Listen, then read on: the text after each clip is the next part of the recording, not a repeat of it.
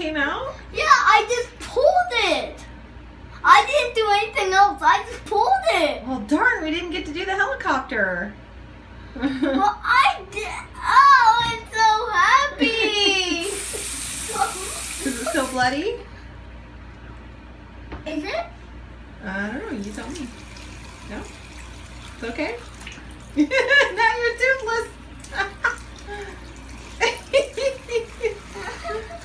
Good job, bud.